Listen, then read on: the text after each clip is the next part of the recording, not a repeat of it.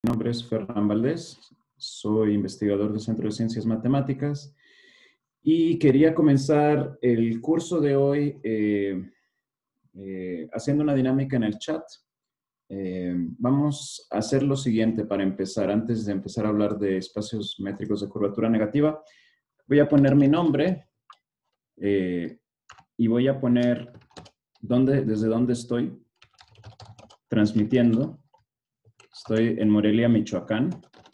Y quisiera poner para, para dar un poquito a conocerme mejor, más allá de mis intereses matemáticos, mis intereses no matemáticos. Entonces voy a poner algo que a mí me gusta, que a priori no tenga mucho que ver con matemáticas. Entonces algo que me gusta mucho son las novelas ilustradas o los cómics.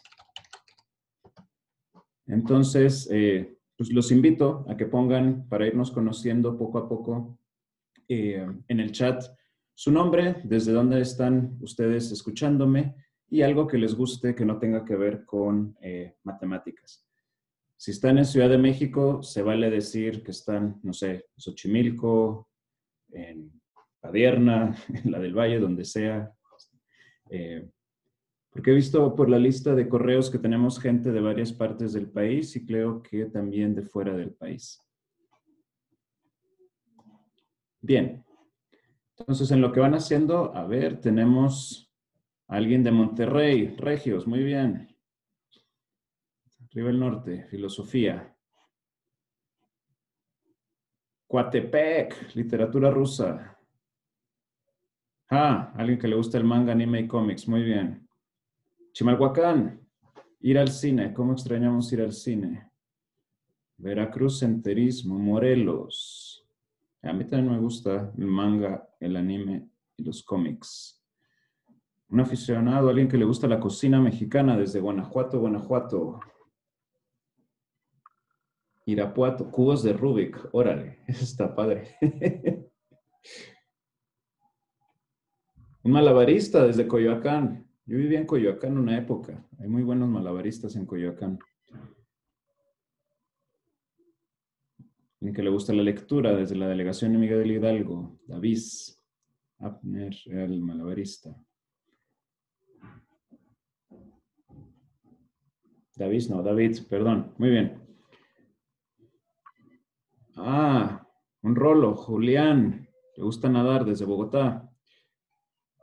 Dolores Hidalgo y un ajedrecista, Jesús. Me imagino que ya vio la serie de Netflix. Bien. Madrid, Cundinamarca, Colombia. Muy bien, más colombianos. Cubos de Rubik ir al cine. Ah, San Luis Potosí. Cantar. Muy bien, Sol. Súper, pues les pido que vayan poniendo y así van leyendo y viendo un poquito qué les gusta. Eh, por cuestiones de tiempo, pues voy a empezar el, eh, el curso compartiendo mi pantalla. Mira, Yajaira desde Ecuador, Santo Domingo, deporte, ciclismo. A Paseo el Grande y escuchar música, Guillermo. Muy bien, ok. Entonces, vamos a empezar el curso. Eh, para eso voy a compartir mi pantalla. Bueno, no voy a compartir mi pantalla, sino que voy a compartir eh, eh, un documento que va a ser nuestra guía para el curso. Entonces, eh, este documento luego lo van a recibir de mi parte, entonces pueden tomar notas, pero no se preocupen, todo lo que vamos a ver aquí está en el documento.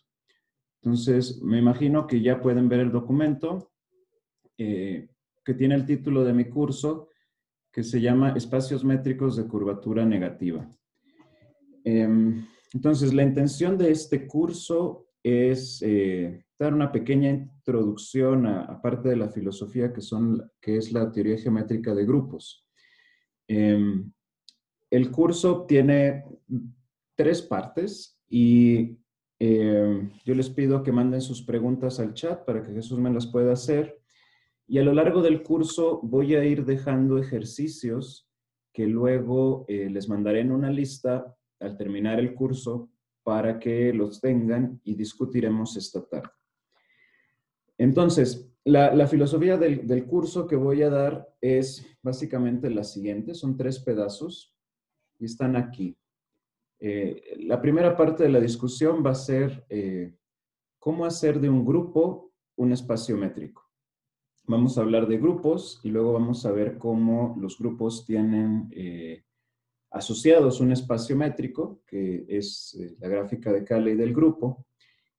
Sin embargo, digamos, la, teoría clásica de espacios métricos que clasifica los espacios métricos por isometrías no es el buen punto de vista para estudiar los grupos eh, vistos como espacios métricos y es por eso que tenemos que introducir las nociones de lo que se llama geometría a larga escala. Es decir, vamos a hacer de los grupos espacios métricos y de ellos vamos a hacer eh, pues espacios geométricos y para eso vamos a introducir la noción de hiperbolicidad en grupos. Es una noción que quizá algunos de ustedes ya hayan visto para, variedades o cuando llevan un curso de análisis complejo, eh, uno ve la noción de hiperbolicidad cuando estudia el plano hiperbólico. Sin embargo, los, los espacios métricos, digamos, clásicos hiperbólicos que uno estudia, que son las variedades, eh, pues son espacios, eh, vamos a decirlo así, continuos, no son espacios discretos y los espacios métricos que nos van a ocupar son espacios discretos. Entonces, la noción de hiperbolicidad que voy a discutir es una noción de hiperbolicidad adaptada a espacios métricos discretos que van a venir de estos grupos eh, que voy a considerar y eso nos va a permitir hablar de grupos hiperbólicos. Entonces, la última parte del curso se va a concentrar en hablar de, eh, de grupos hiperbólicos, algunas propiedades de los grupos hiperbólicos. Ahora bien, eh, antes de empezar con el material propiamente, déjenme, les comparto en el chat eh, dos cosas. A ver cómo voy al chat, cómo llego al chat. A ver, aquí. Ajá, ok. Les voy a poner en el chat la referencia del libro en el que me estoy basando. Es una referencia que contiene un montón de cosas más. Es un libro, le estoy compartiendo la versión eh, no publicada de un libro de la profesora Clara Le eh, en Alemania. Este es un libro que a mí me gusta mucho para un primer curso en eh, teoría geométrica de grupos. Es una introducción que discute los, los puntos de la teoría geométrica de grupos desde la base y va a ser mi referencia para lo que voy a estar hoy platicando y mañana también. Muy bien. dicho esto, eh, déjenme regreso aquí a mi journal y vamos a empezar entonces ahora sí propiamente el curso. Entonces, ¿cómo hacer de un grupo un espacio métrico? Antes eh, eh, de hacer eso, vamos a discutir un poquito de qué tipo de grupos vamos a estudiar. Entonces, Déjenme comienzo diciendo lo siguiente. Si alguien no puede ver bien mi pantalla, por favor de manifestarlo por el chat. Entonces, eh, hay varias maneras de pensar a los grupos. Entonces, ejemplos de grupos, déjenme comienzo por ejemplos de grupos que nosotros eh, creo que todos conocemos. por ejemplo, uno de los grupos que uno más ve en, al principio de la carrera son, es RN con la suma. O podemos pensar en este, los racionales con respecto a la multiplicación o podemos pensar también en el círculo con respecto a la multiplicación. Aquí estoy pensando el círculo como los complejos de, tamaño 1, etc. Comienzo por aquí porque son grupos que normalmente cuando uno pregunta ejemplos de grupos, me ha pasado que uno comienza pensando en estos grupos. Ahora, eh, quizás es la peor manera de empezar el curso porque estos es justamente el tipo de grupos que no vamos a considerar en este curso. Entonces, déjenme lo pongo aquí. Voy a poner otros ejemplos que a mí me gustan mucho. Son grupos que, que vale la pena estudiar por sí mismos, pero que no vamos a considerar. Por ejemplo, otros ejemplos de grupos son las matrices de n por n con coeficientes en R o el campo de su preferencia. Entonces, en ese sentido, si estudian geometría este, hiperbólica en dimensión 2, pues, pues estudian el grupo de matrices PSL2R, etcétera, etcétera, etcétera. Hay gente que le gusta el grupo simpléctico. Entonces, nada más aquí como, como eh, eh, una, nota de atención que quiero poner eh, es que estos son justo los ejemplos de grupos que no vamos a considerar. Este tipo de grupos eh, no serán considerados en el curso por el momento. Ahorita voy a explicar por qué. ¿Y qué tienen en común estos grupos?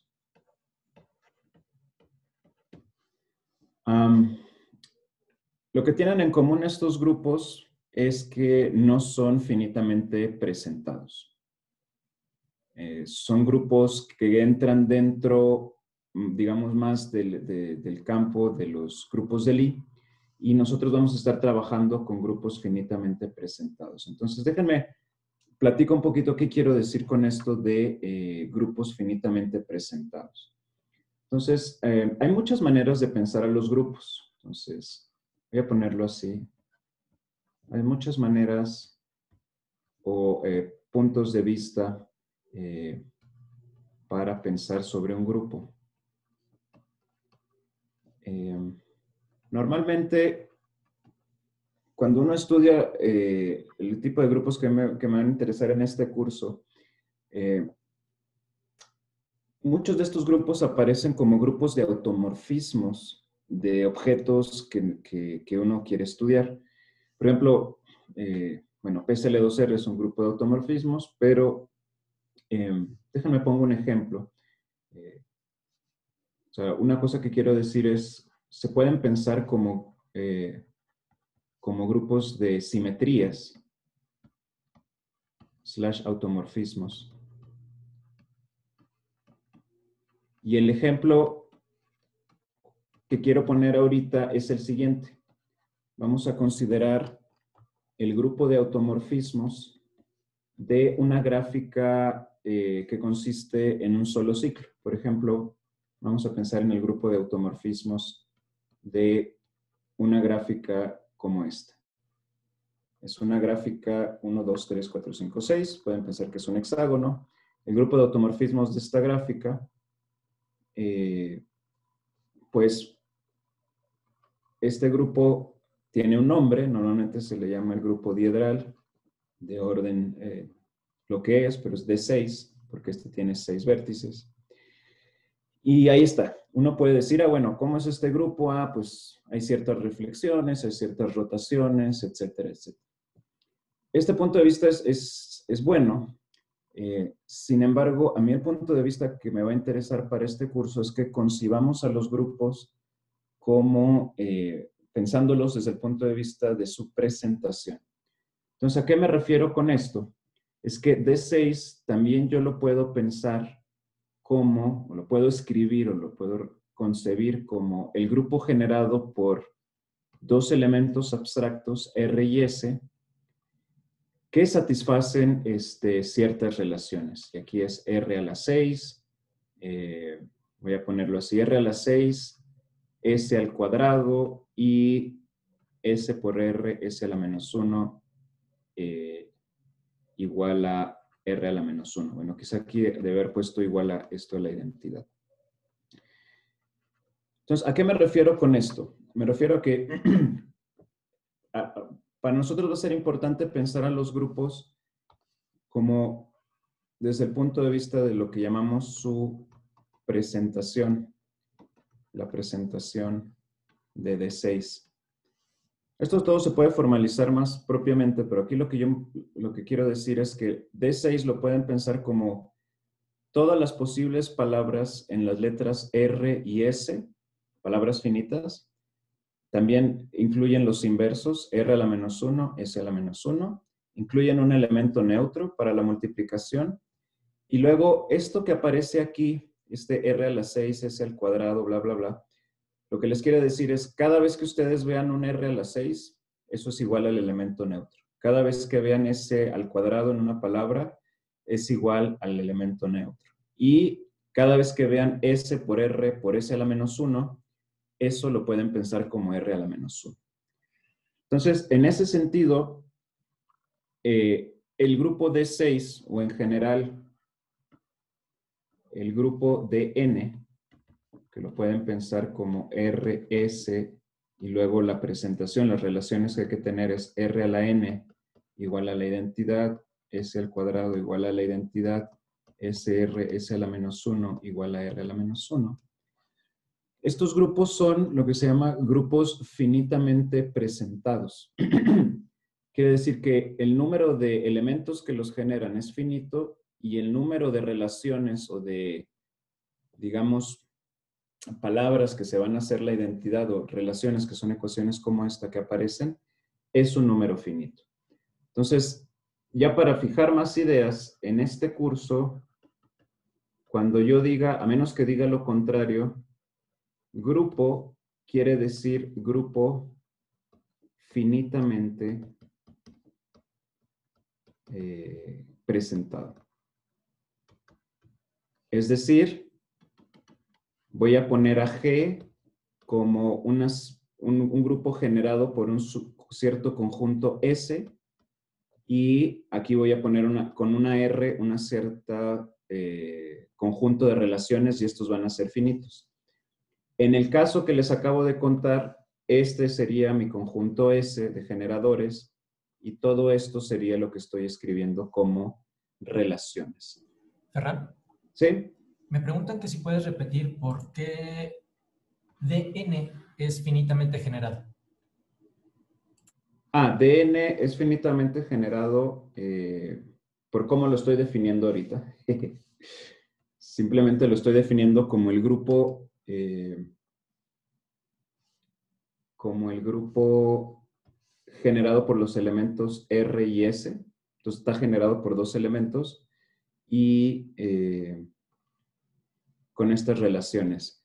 Ahora la pregunta es buena, ¿por qué el grupo de automorfismos de una gráfica finita regular es, de, no regular, sino, porque el grupo de, automorfismos de un polígono regular es finitamente generado.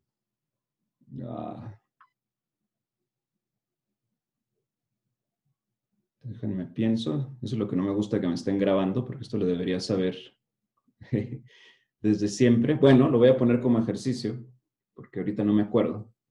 Pero me imagino que es algo como que Ah, tiene que mandar los vértices en los vértices, aristas en las aristas, y no hay un montón de posibilidades para ver que es finito. Eh, pero bueno, no, me, no lo sé, perdón, no lo sé, me gana ahorita el pánico, entonces déjenme, lo voy a poner aquí como ejercicio.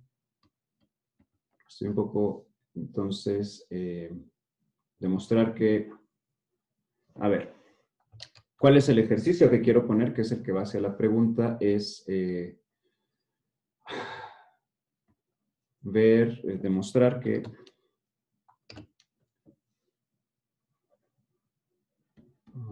demostrar que eh, dn como el grupo de automorfismos de un polígono regular de n ver, no, no es sí, polígono regular de n vértices pensado como gráfica es finitamente generado.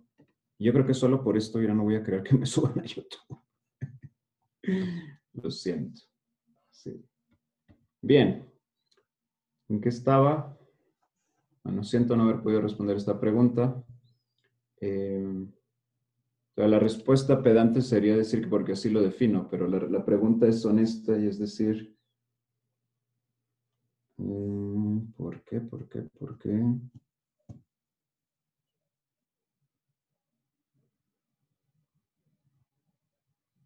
Bueno, no puede ser infinitamente, bueno, podrías, ah, podría ser infinitamente generado y luego con una infinidad de relaciones que lo hagan al finalmente finito.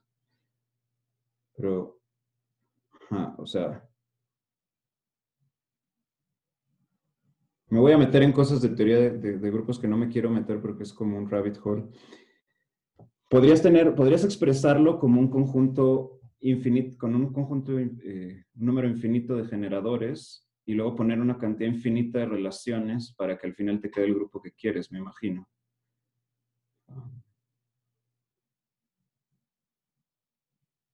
Lo que sí... Bueno, no sé, no sé. La respuesta es no sé, lo siento, que me haya hecho la pregunta. Podrías verlo como que es un DN precisamente por como lo ves como automorfismos de los polígonos, tiene que moverte los vértices, entonces tiene que ser un subgrupo de las permutaciones de tus vértices. Y como tienes una cantidad finita de vértices, es un SN finito. Y entonces tiene que ser finitamente generado, que sería un grupo finito. Y en el peor de los casos es generado por todo el grupo. Y eso es un conjunto finito. Sí, lo que me confunde es que en mi cabeza para la, pregunta es como que la entiendo si la puedo expresar como un conjunto, con un conjunto infinito de generadores. Pero igual me estoy haciendo bolas con algo trivial. Sí, son esas preguntas que uno se queda pensando así como... Para mí eso, tiene que ser un grupo finito, eso es claro. Eh, lo que pasa es que como no soy preciso, el rollo está en que no definí bien lo que era la gráfica y no definí bien lo que era el polígono. Pero bueno, no me quiero ir por ahí. Déjenme sigo con el curso, si no me voy a dar todo el curso probando eso. Me pasan luego otras preguntas. Gracias, Jesús. Eh, bien, entonces, ¿en qué estaba? Ajá, bueno, vamos a ir en esa misma dirección. Eh, los grupos finitamente esto es una cosa que quería discutir, los grupos eh, finitamente presentados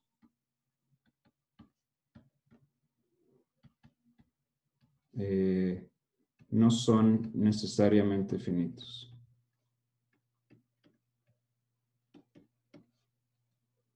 Esto es este, algo que creo que es bastante más trivial de lo que pensaría, pero déjenme les doy ejemplos. Por ejemplo, este, los números enteros ustedes los pueden representar como el grupo generado por un solo elemento sin relaciones. Es lo que se llama un grupo libre.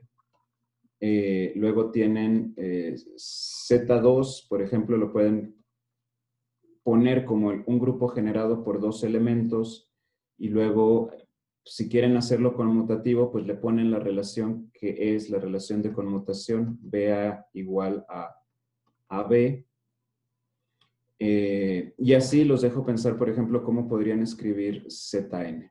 Estos son ejemplos como muy sencillos, primero de grupos eh, finitamente presentados.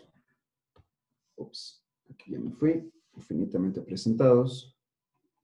Y luego, eh, déjame les defino otros grupos que normalmente no, no, no se ven en un primer curso de teoría de grupos, pero que yo considero bastante interesantes voy a definir el, grupo BMN, por, ahorita les digo porque de dónde viene esta notación, se parece a, a Zn en el sentido que está generado por, a Z2 por dos elementos, pero voy a incluir la siguiente relación. La relación es eh, B por A a la M por B a la menos 1 es igual a A a la N. Estos grupos se llaman los grupos de grupo de Baumslag Solitar. Y bueno, tienen una historia muy bonita porque unos de estos son finitos, pero otros no son finitos. Eh, y los pongo un poco como provocación para que luego ustedes puedan buscar en, eh, en el internet un poco más sobre estos grupos. Otro grupo que es bastante interesante es el grupo F, que es igual al grupo eh, generado por A y B. Y luego voy a poner una relación medio extraña. Los pongo un poco para que luego piensen en ellos. Y la relación es la siguiente. Es A, B a la menos 1, A a la menos 1, B A. Y esto tiene que ser igual a A, B a la menos 1, A a la menos 2, B a cuadrada donde aquí lo que estoy pensando es que este bracket que puse aquí es el conmutador de dos elementos. Entonces, aquí, cuando yo escriba esto, estos brackets con X y Y, esto quiere decir X, vamos a ponerlo así, X, Y, X a la menos 1, Y a la menos 1. Y este es el famoso grupo F de Thomson.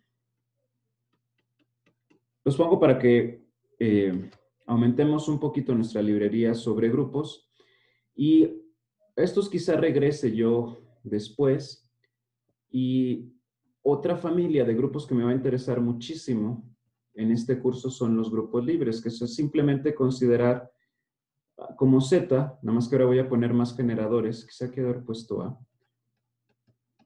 Y luego voy a poner eh, Fn es simplemente el grupo generado por n elementos sin relaciones. Bien, eh, entonces espero que quede claro lo que estoy tratando de transmitir sobre eh, qué es un grupo finitamente presentado. Son grupos que están, donde yo los puedo escribir como un número, como generados por un número finito de letras y luego con un número finito de relaciones, de cosas que se cancelan cuando escribo las palabras. Eh, una observación que es medio, eh, medio trivial, pero que es importante, es que si G, déjenme ver cómo puse acá arriba, eh, si G es finitamente presentado,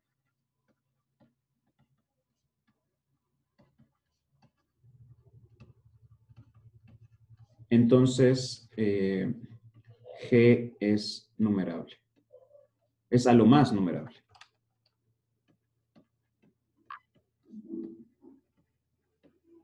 Y entonces por eso estoy dejando de fuera todos los grupos que puse yo al principio, todos estos grupos como RN, eh, eh, bueno, esta es, este es este, quizá una cosa bonita, que voy a poner como ejercicio porque Q es numerable, para pensar, o sea, no todos los ejercicios que voy a dejar luego los vamos a discutir, pero esta es una pregunta interesante. Voy a considerar el grupo Q con respecto a la multiplicación, es un grupo numerable, es finitamente presentado. Es decir, puedo escribir a los racionales como un grupo generado por una cantidad finita de elementos con una cantidad finita de relaciones? Déjenme, esta, esta pregunta me gusta para discutirla después. Bien, entonces ese es el universo de los grupos que vamos a eh, estudiar. Y ahora lo que quiero es asociarles a los grupos eh, un espacio que, del cual luego quiero hacer un espacio métrico. Entonces, la idea es hacer una gráfica a partir de la información que nos da un grupo finitamente presentado. Y esto es lo que se llaman las gráficas de Cayley. Entonces déjenme paso a hablar de las gráficas de Cayley. Cayley, perdón. Y este es este slide de aquí. Entonces, voy a poner primero la definición abstracto y luego vamos a ver algunos ejemplos. Entonces, eh, no voy a recordar lo que es una gráfica en general, porque supongo que ya lo deben saber. Em, pero lo que sí quiero decir es que para mí eh, gráficas en este curso, a menos que yo diga lo contrario, son lo que se llama este, gráficas combinatorias. Es decir, yo estoy pensando a la gráfica no como lo que uno dibuja, sino como una colección de vértices y luego las aristas son simplemente pares ordenados eh, de vértices. No hay dibujo, es un objeto combinatorio. Entonces, en ese punto, desde ese punto de vista, puedo definir a partir de un grupo una gráfica. Entonces, eh, aquí, acuerden, grupo por el momento va a querer decir grupo finitamente presentado. Entonces, me agarro un grupo generado por un conjunto S. Por ejemplo, me puedo tomar eh, los enteros generados por el 1. Entonces, voy a definir la gráfica de Cayley del grupo G, y esto es importante, con respecto al conjunto generador, como la siguiente gráfica. El conjunto de los vértices de la gráfica van a ser los elementos del grupo. Y luego, una pareja de vértices me va a definir una arista si es de la forma G, G por S, donde G está dentro del grupo y S es elemento de este conjunto. ¿Quién es este conjunto? S es el conjunto generador y esto son los inversos de eh, elementos de S y si tuve la mala suerte de poner en S el elemento neutro, pues lo quito. Nada más me estoy tomando los generadores que son diferentes de la identidad y sus inversos para definir las aristas. Vamos a ver cómo se traduce esta definición para un ejemplo particular como el que vimos arriba. Entonces, eh, el ejemplo particular que quiero ver para, para discutir la definición es considerarme a G lo voy a pensar como este, los números enteros generados por un solo elemento. Entonces, G es igual a Z y S como conjunto generador va a ser igual al 1. ¿Qué quiere decir esto? Estoy pensando los enteros como el grupo libre generado por un solo elemento.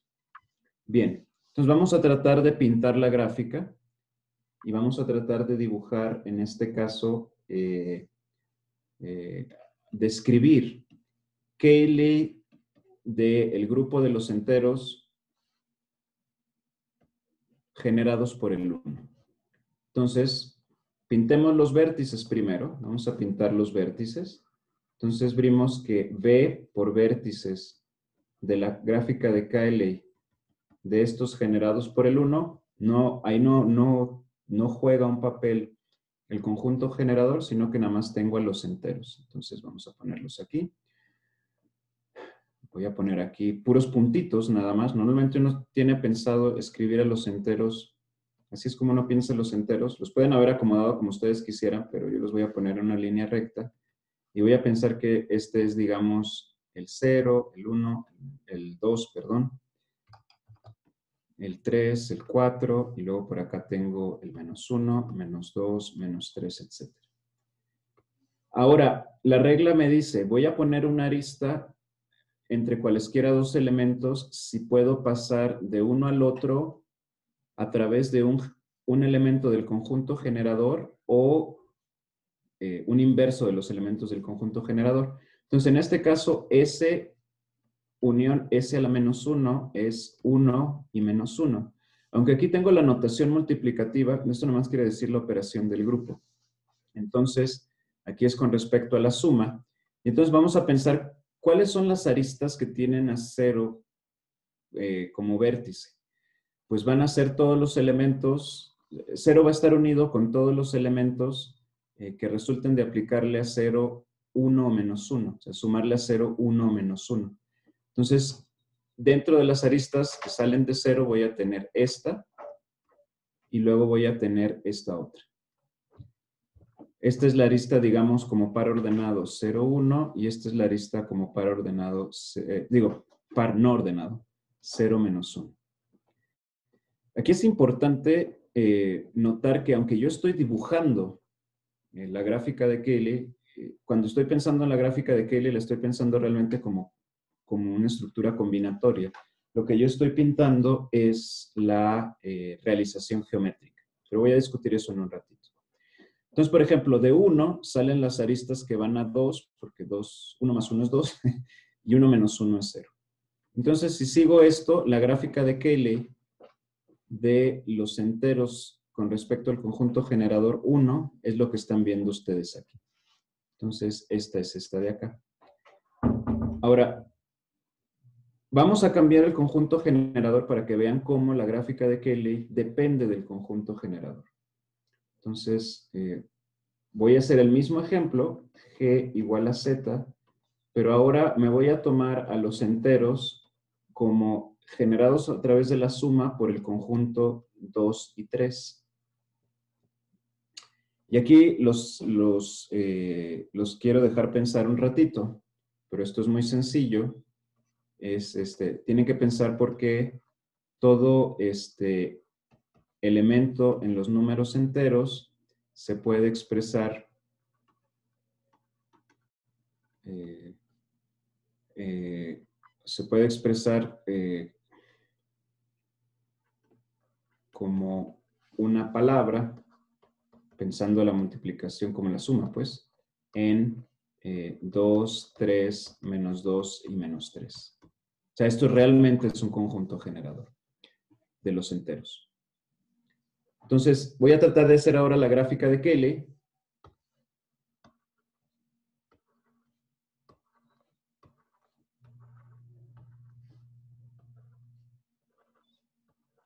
Los vértices son los mismos, 0, 1, 2, 3, 4, 5, menos 1, menos 2, menos 3, menos 4, menos 5. Sin embargo, ahora, fíjense que la regla es diferente, o sea, va a cambiar un poquito las aristas. ¿Con quién está conectado 0?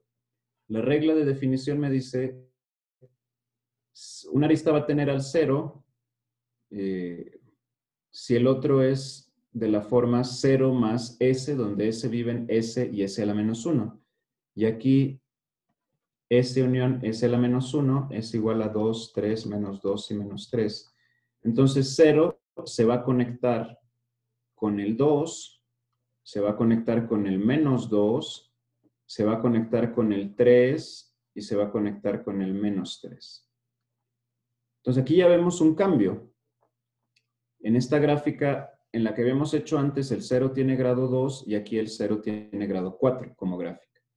Y ahora voy a acabar de pintar el resto de la gráfica para que vean cómo se ve. El 1 se va a conectar si le sumo 2 con el 3, si le resto 2 con el menos 1, y el 2 se va a conectar con el 4, y ya estaba conectado con el 0, y esto se va a ver así, y esto se va a ver así, y acá pasa más o menos lo mismo. Y el 1 se conecta con el 4, porque 1 más 3 es 4, el 2 con el 5, el 3 con el 6, etc. Y fíjense entonces la forma que toma mi gráfica de que este va así. No, aquí me salté... No, sí, estoy bien. Tengo que saltarme 2. Este va para acá, este me salto 2. Entonces, ¿se fijan cómo la gráfica de Cayley en este caso, aunque es el mismo grupo, el hecho de haber cambiado el conjunto generador me cambia completamente la gráfica de Cayley. Entonces, esto es como eh, eh, lo que hemos aprendido de esto, y es entonces la nota que hay que hacer, es que eh, la gráfica de Cayley de un grupo finitamente presentado depende del conjunto generador.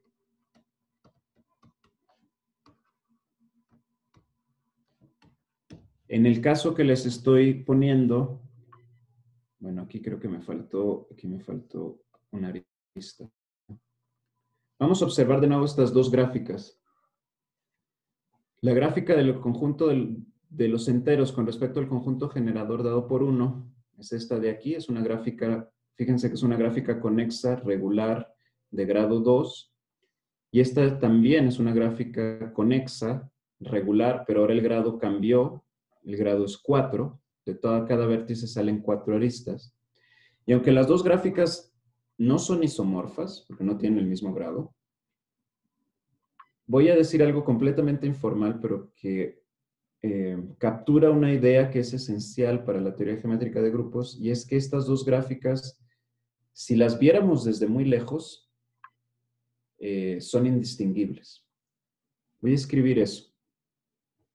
Entonces voy a hacer una pequeña observación, una observación eh, informal, que son muy valiosas en matemática las observaciones informales porque pues llevan a, pues, a probar que son ciertas o que son un disparate.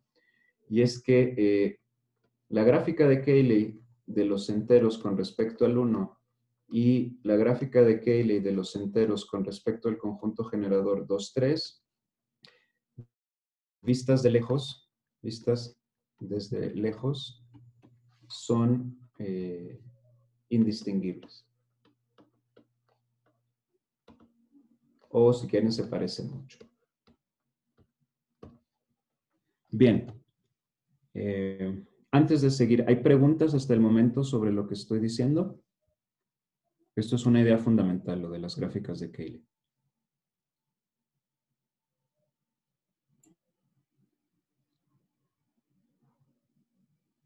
Hasta ahora ninguna en el chat. Ninguna en el chat. Muy bien.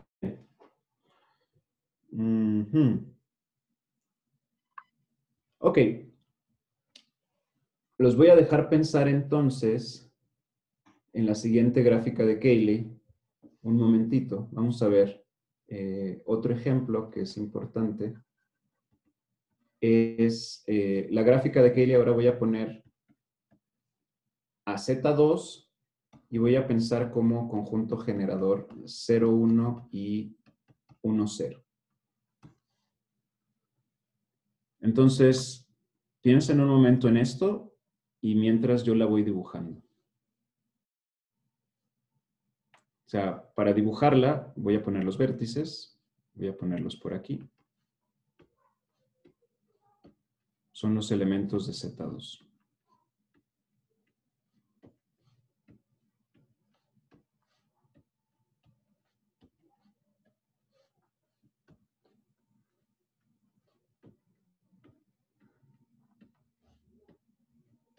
Voy a pensar por un momento que el cero está aquí.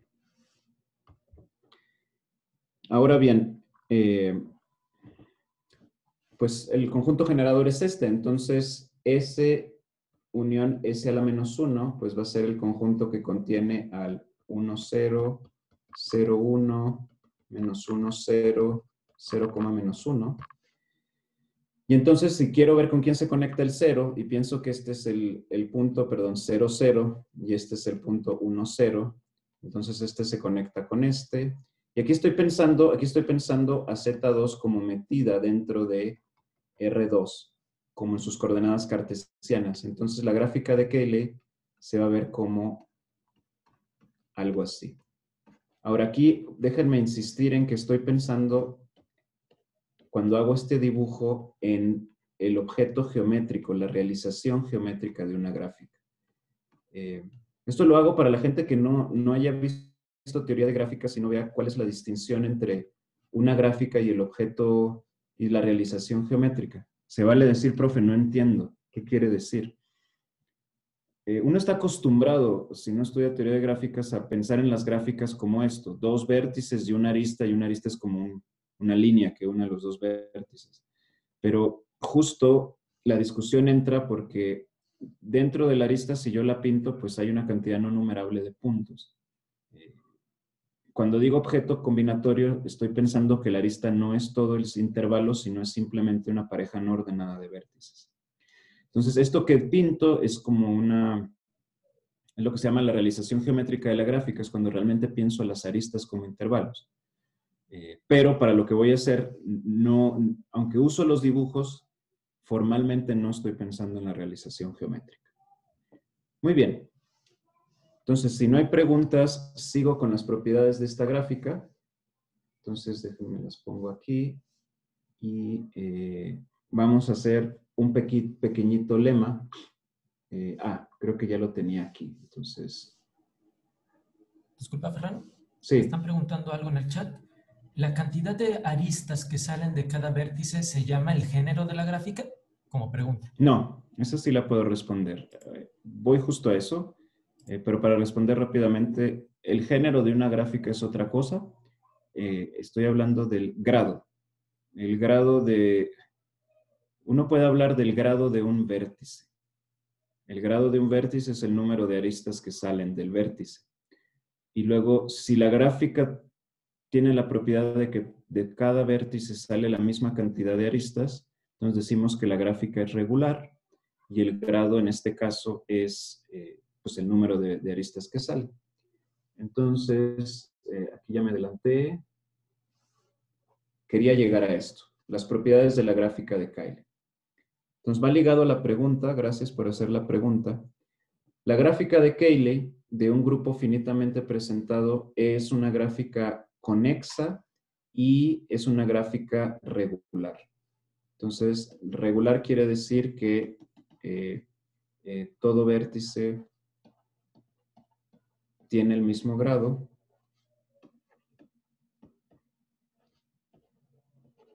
Y lo que quiero discutir un momento, por eso puse un asterisco, es la noción de conexidad.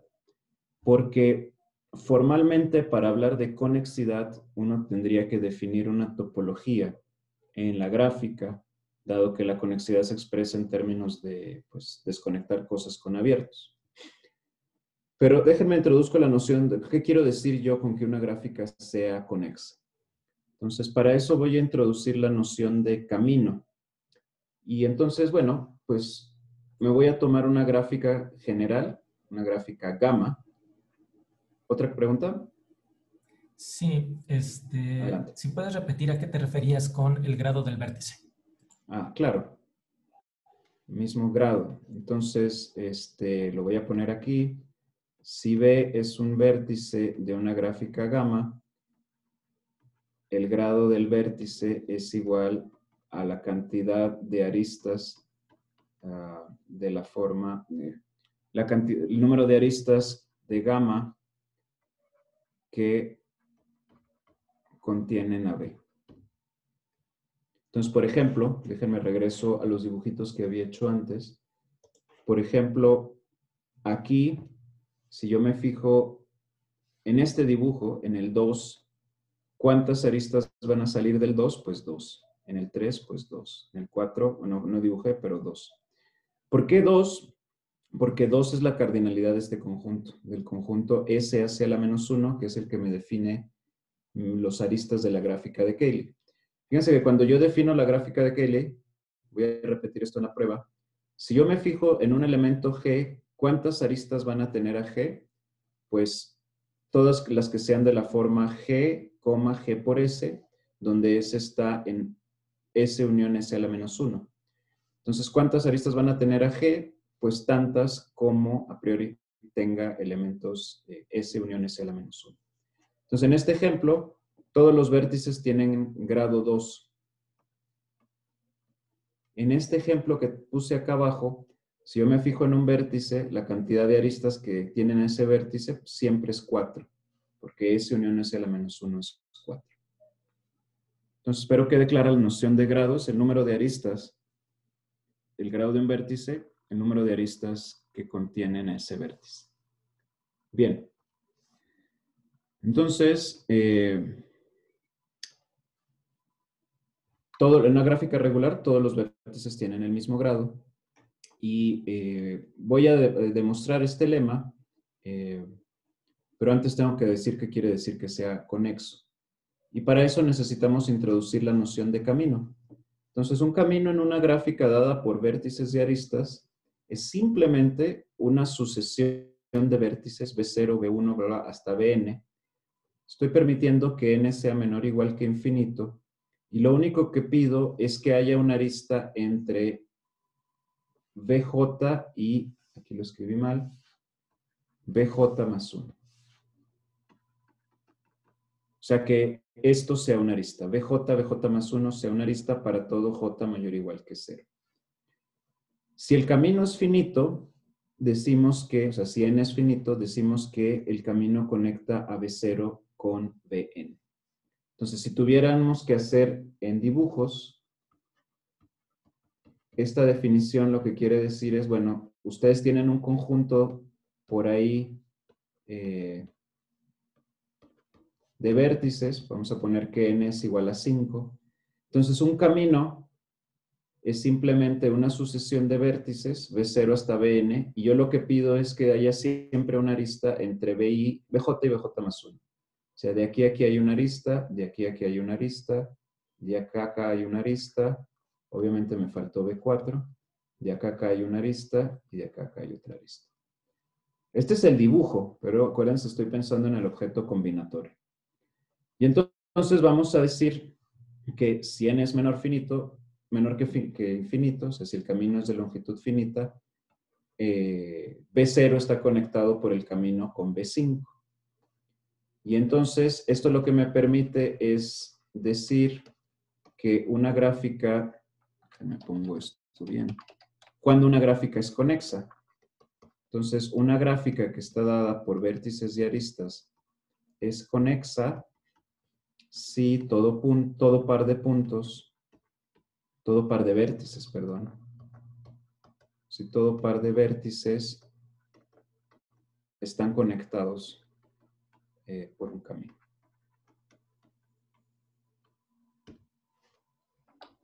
Y en ese sentido, voy a hablar de conexidad para las eh, gráficas de Cayley. Te voy a decir que una gráfica de Cayley es conexa si puedo conectar cualquier par de vértices a través de un camino. Entonces ahora vamos a argumentar por qué la gráfica de Kelly es conexa y es regular. Entonces voy a poner aquí rapidín la demostración del lema.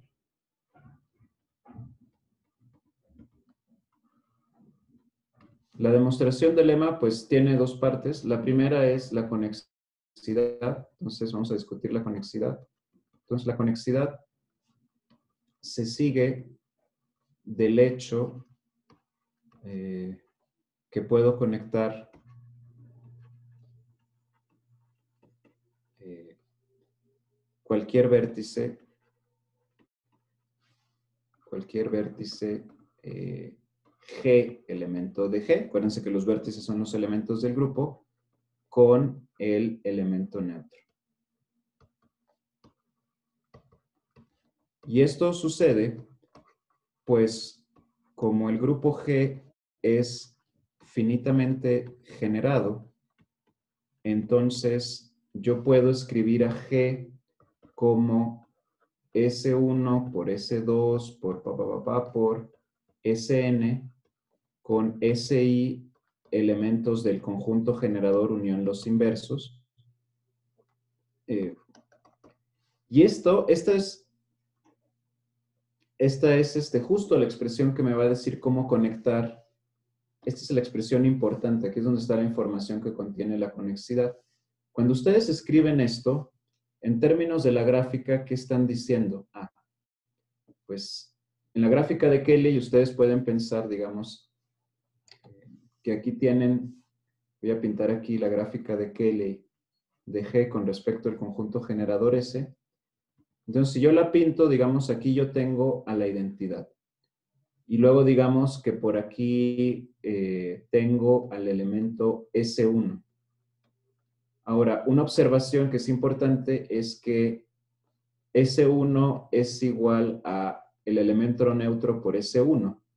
Y por tanto, esto va a ser una arista. Siempre hay una arista de E a cualquier elemento del conjunto generador. Y luego por acá puedo poner yo el elemento S1 por S2 Ahora, S2 está dentro de los elementos eh, de S unión S a la menos 1, entonces por acá hay otra arista. Y luego así me puedo ir, y aquí puedo poner S2 por S3. Y así se siguen hasta que llegan a S1 por S2 por bla, bla, bla, por hasta Sn menos 1, que se conecta con G, que es igual a S1, S2 hasta S.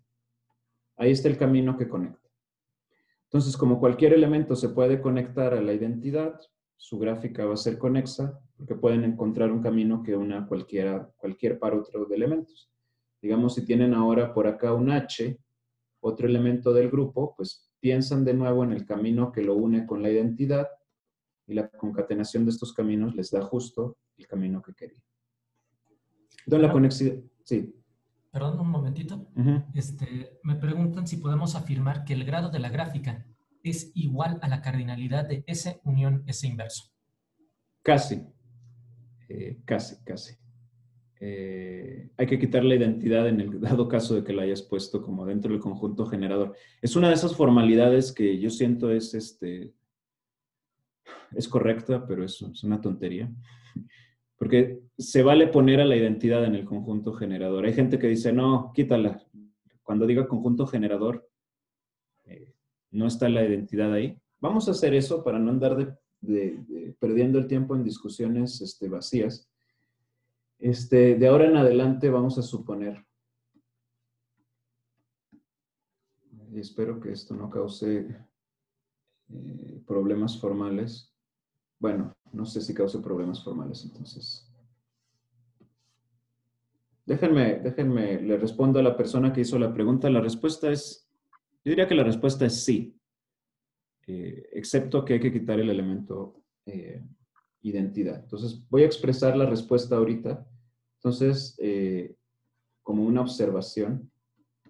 Y la observación es que para todo G en G que es igual al conjunto de vértices de la gráfica de Cayley de G con respecto a S,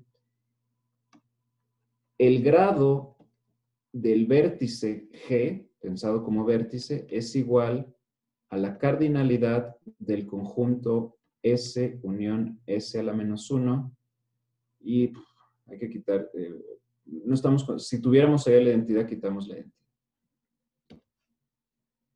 Porque, sí, porque justo cuando definimos gráfica de Cayley, acuérdense acá arriba, tengo esta condición de que dos elementos definen una arista si, son de la forma G, G por S, donde S está en S unión S a la menos 1 menos la identidad. Y entonces,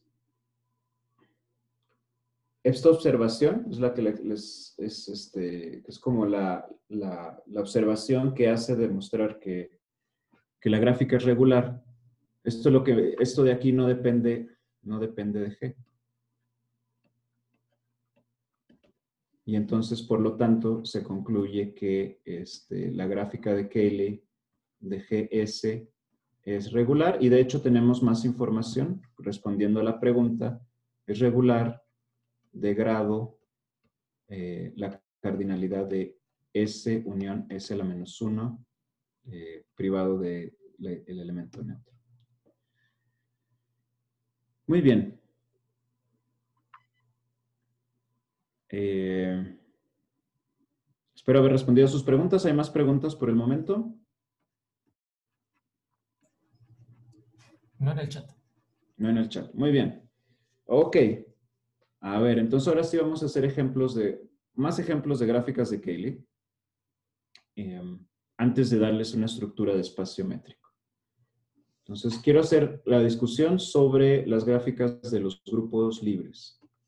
Entonces, vamos a considerar ahora, eh, voy, a, dibujar, este es otro ejemplo, eh, que es importante. Voy a pensar en el grupo libre generado por los elementos AB. Este es el conjunto generador. O sea, estoy dando un conjunto generador sin relaciones. Está libremente generado por A y B. O sea, ¿cómo pienso al grupo F2? F2 son todas las palabras en A y B. Eh, formalmente palabras reducidas, es decir, los elementos de aquí son elementos, este, los elementos de F2 son eh, palabras de la forma a, b a la menos 1, b a cuadrada, b al cubo. Eh, bueno, aquí no, no, debería poner una b, sino a la menos 7, etc. O sea, son palabras en a y b con, con letras en a, a, b, a la menos 1, b a la menos 1, ciertas potencias. Eh, este, no estamos considerando, por ejemplo, este, si yo escribiera AB a la menos 1, AB, eso es lo que se llama una palabra no reducida. Entonces, realmente uno no piensa en estas palabras, sino que piensa que esto es la misma palabra que ABA. A, B cuadrada, perdón. AB cuadrada. En el libro Decláralo hay una discusión más formal sobre lo que son los grupos libres libremente generados, por si nunca habían visto esto antes. Y espero que para este momento del curso ya se den cuenta que aunque el curso se llamaba Espacios Métricos de Curvatura Negativa, en el fondo, pues es un curso en teoría geométrica de grupos y tenemos que saber bastante de grupos para poder, este, sí, para poder seguirlo. Bueno, no hay que saber bastante, hay que saber un poco. Bien, vamos a hacer la gráfica de esto. Es el grupo libre, no hay relaciones en dos generadores. Entonces voy a pintar, eh, voy a pintar primero el elemento neutro y luego voy a empezar a pintar este, otros elementos. Voy a poner aquí el elemento neutro y voy a poner aquí, por ejemplo, el elemento A, aquí el elemento B, aquí el elemento A a la menos 1 y acá el elemento B a la menos 1.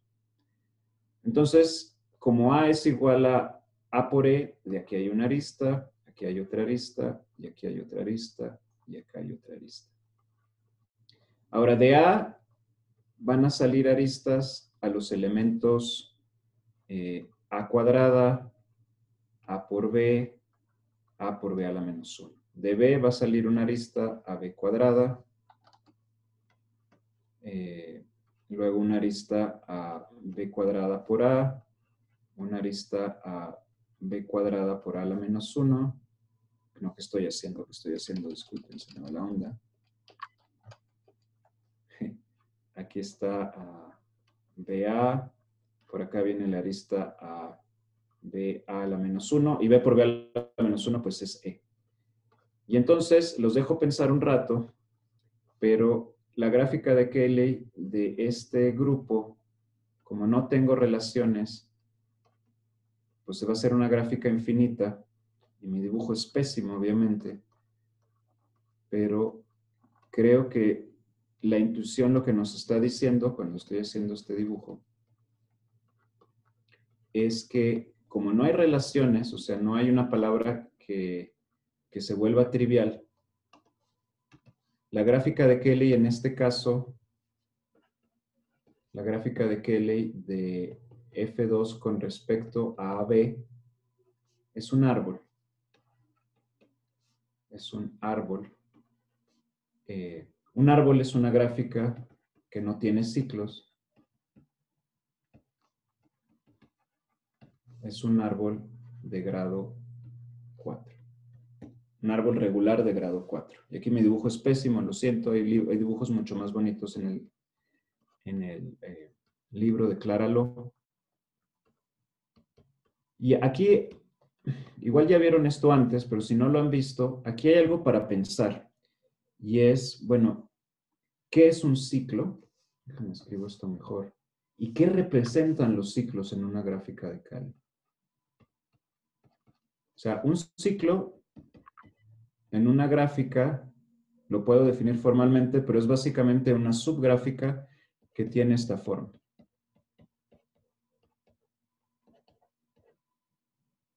Es algo que se ve así. O sea, es una serie de vértices que están unidos consecutivamente por, por aristas y eventualmente se cierran. Y aquí la meta pregunta que uno se tiene que hacer y tratar de pensar es, eh, ¿qué representa,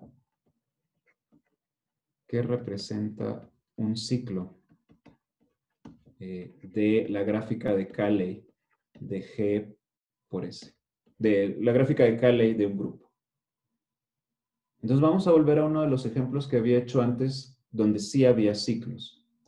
Por ejemplo, este de aquí, la gráfica de Cayley de los de z al cuadrado, z cruz z, con respecto a este conjunto generador. Voy a pintar un ciclo. Este ciclo es, digamos, este de aquí. Aquí claramente hay un ciclo. Y nada más para, para fijar un poco más claras las ideas, aunque esto le llamé el conjunto generador 1, 0 y 0, 1, déjenme le llamo a este A y a este B y uso la notación multiplicativa. Entonces, ¿este ciclo qué representa? Bueno, es el ciclo con, el vértice A, no, perdón, este es el vértice identidad, este es el vértice A, a A luego le sumo B, pero lo quiero escribir como A por B, y luego acá, este es A, B, acá voy a A, b a la menos 1 y luego regreso. Y para ir de acá a acá tengo que multiplicar por a. Entonces, este ciclo que tengo aquí, lo voy a poner aquí. Este ciclo me dice que eh, a, b, a a la menos 1b tiene que ser igual a la identidad. O sea, un ciclo, en otras palabras, un ciclo de la gráfica de Cayley de GS eh, representa una relación. Representa una relación slash una palabra eh, trivial. Una palabra que, como esta, A, B a la menos 1, B a la menos 1, que a priori no sabíamos que era trivial, pero a la hora que la vemos como un ciclo es trivial. Entonces, en ese sentido, en el grupo libre, un ciclo en la gráfica de Cayley este, representa una palabra trivial. Entonces, eh, representa una palabra. Uh, ¿Ferran? Sí. Te hacen la corrección de que por ahí debe de haber un B, una B inversa. A, ah. B, A inverso, B inverso. Aquí cuando lo hice, Probablemente. A, B, A inverso, B inverso. No, sé si dice ahí o A. el dibujo. Así. De repente me salió la pregunta, pero no vi bien hacia qué se referían. Bueno, aquí yo lo único que quería decir es que E, o sea, moverme en la gráfica de Keller X multiplico por A, multiplico por B, multiplico por A a la menos 1, y para regresar, este E sería A, B, A la menos 1, B a la menos 1. Esto sí estoy seguro. No sé si respondí a la pregunta. Sí, que ya justo lo, que, lo, acababas de cambiar. Ah, ok, bien. Va. Entonces, un ciclo representa una palabra trivial, es decir, una palabra eh, que se basa, eh, o una relación, digamos. Quizá no sea una relación de las que ustedes ya se prescribieron antes, pero es una cosa que cuando escriben la palabra les tiene que dar la identidad. Esto lo puedo pensar de alguna manera como una relación. Entonces, en ese sentido, esto que estoy diciendo, lo que me dice, esta es la manera, digamos, de probar. Esto implica que eh, eh, implica lo siguiente. Eh, implica que la gráfica de Cayley de F2 con respecto al conjunto generador AB no tiene ciclos porque es un grupo libre y en los grupos libres no hay palabras este, triviales. O sea, si hay una palabra trivial era porque era reducida y realmente no estaba ahí. No tiene ciclos. Y esto lo, lo, que estoy tratando de hacer es justificar de que la gráfica de Cayley de F2 con respecto a AB es un árbol. Entonces, este es un ejemplo muy importante y de hecho esto es un hecho general. En general, déjenme demuestro rápidamente el siguiente lema, que es un lema importante, y es que este, si F es un grupo libre, eh, libremente generado por un conjunto S, libremente generado les pido lo consulten a los que no lo hayan visto en el libro, decláralo. Eh, pero digamos, podemos pensar que no hay ninguna relación dentro de los elementos de S, o con elementos de S y S inverso. Entonces, en este caso, la gráfica de Cayley de F con respecto al conjunto generador S es un árbol.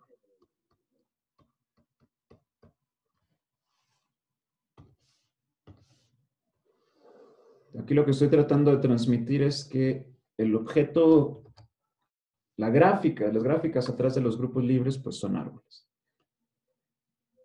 Entonces, ¿cómo se demuestra esto? Vamos a hacer la demostración. Demostración. La demostración es muy sencilla. Eh, supongamos que no. Supongamos que no. Entonces, supongamos que no es un árbol. Entonces, un árbol es una gráfica sin ciclos. Suponer que no es un árbol es suponer que este, hay un ciclo. Entonces, supongamos que digamos G0, G1 como conjunto de vértices hasta Gn menos 1 es un ciclo, es un ciclo de longitud. Eh, vamos a pensar n mayor o igual que 3. Entonces voy a hacer mi dibujín. Lo que estoy pensando cuando hago la realización geométrica es que aquí tengo G0, aquí tengo G1, por acá tengo G2, por acá tengo eh, G3, y así me sigo, pam, pam, pam, hasta eh, Gn a la menos 1, y todos estos son aristas. Entonces, como son aristas, eh, o sea, como es un ciclo, o sea, decir que es un ciclo quiere decir que hay una arista entre G0 y G1, de G1 a G2, de G2 a G3, de G3 a G4. Entonces, como, como, como hay aristas de GI a GI más 1 de manera cíclica, entonces nosotros tenemos eh, las siguientes este, igualdades, pues sabemos que, bueno, las siguientes ecuaciones. G0 tiene que ser igual a G1 por un cierto S1 G2 tiene que ser igual a G1 por un cierto S2, ta, ta, ta, ta, ta, GJ, eh, en general GJ más 1 tiene que ser igual a GJ por un cierto SJ más 1. Y aquí estoy pensando que J está entre 0 y este, N menos 2. Y simplemente voy a escribir el último como que, este, eh, no, aquí me equivoqué, perdón. G1 tiene que ser igual a G0. Y finalmente G0 tiene que ser igual a Gn-1 por un cierto S. ¿Por qué? Porque pues, si hay una arista entre G0 y G1, por definición de gráfica de Cayley, tiene que haber un elemento eh, SI dentro de S unión S la menos 1 menos la identidad que me permita dibujar esta arista. Entonces, eso estoy escribiendo simplemente el hecho de que haya aristas. Etcétera. Esto es G1 por S2, G2 por S3, etcétera. Muy bien. Entonces, esto es claro de la definición de aristas. Y ahora simplemente lo que hago es despejar las S. Entonces, lo que tengo es que S1 es igual a G1 por G0 a la menos 1 S2 es igual a G2 por G1 a la menos 1. Y si así me sigo, eh, SJ más 1 es igual a GJ por GJ más 1 a la menos... Uh, no, aquí me equivoqué de nuevo, disculpen. GJ más 1 por GJ a la menos 1. Y este, Sn es igual a G, estoy multiplicando por dónde, estoy eh, ajá, por la derecha, Bien, entonces clávense un poquito en estas manera de expresar a las S, porque de aquí es donde vamos a sacar una contradicción, o sea, queremos probar que es un árbol, vamos a suponer que no lo es y llegamos a una contradicción. Entonces, de esto, digamos, dejando correr el lápiz, ahora lo único que tengo que ver es cuánto vale Sn por Sn menos 1 por Sn menos 2 por, por hasta S2 por S1. Ah, pues las escribo y esto es G0 por Gn eh, menos 1 a la menos 1. Y luego aquí es donde empieza eh, lo interesante. Sn-1, aquí me va a aparecer Gn-1 por Gn-2 a la menos 1, y así me voy a seguir hasta S2, que es G2 por G1 a la menos 1, por S1, que es G1 por G0 a la menos 1. Y fíjense que todos se cancelan. Este se cancela con este, este con el que sigue, este se había cancelado con otro, este con este, y este último se cancela con este primero. Entonces todo esto me queda igual a E, igual a la identidad, pero esto es una contradicción. Pero esto es una contradicción, pues no puede haber relaciones.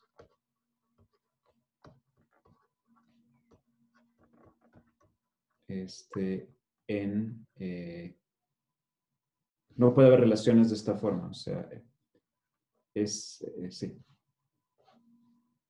Es una contradicción, simplemente. O sea, no puedo tener una relación, no puedo tener una cosa de la forma S por S n menos 1 por S menos 2, bla, bla, igual a E. Y entonces el, eh, la gráfica de Kelly asociada al grupo libre me queda eh, un árbol.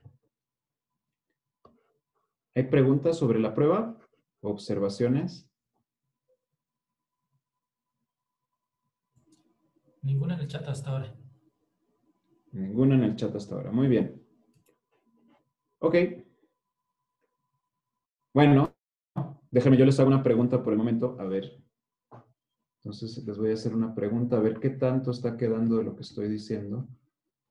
¿Es el converso cierto?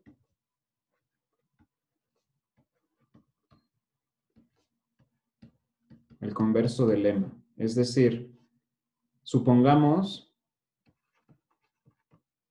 es decir, Me lo voy a poner aquí. Es decir, supongamos que este, la gráfica de Cayley de un grupo finitamente presentado es un árbol. Implica esto que eh, G es libremente generado por S.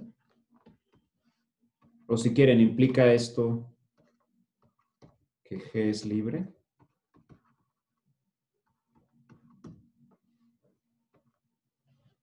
Los voy a dejar pensar unos minutos y a ver, pueden mandar en el chat lo que ustedes piensen. Se vale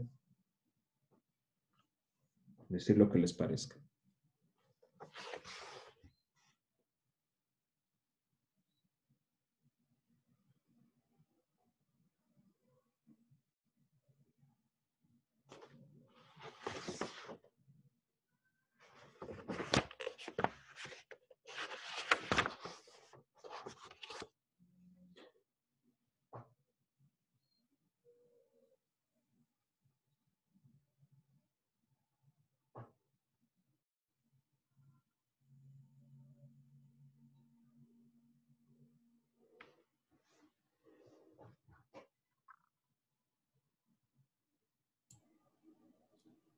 Hay que dice que yo creo que no. Ok, muy bien.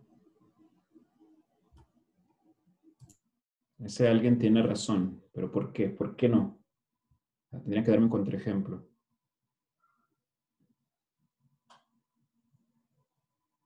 Eh, Les voy a dar una pista, la respuesta es más sencilla de lo que uno cree.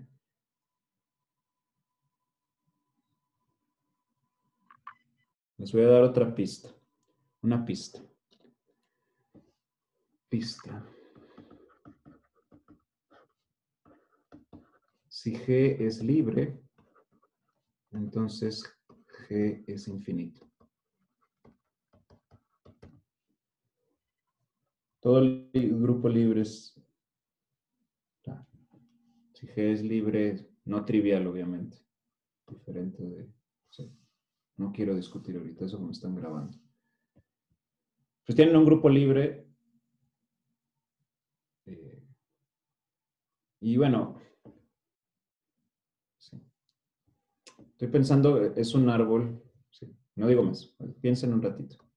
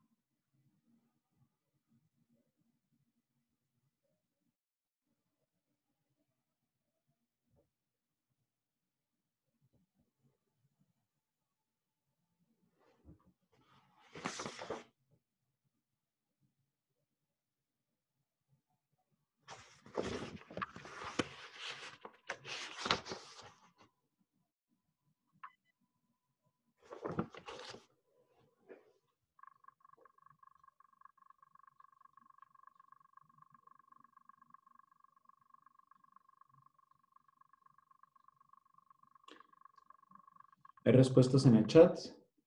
¿Están pensando? Acaban de llegar unas cuantas.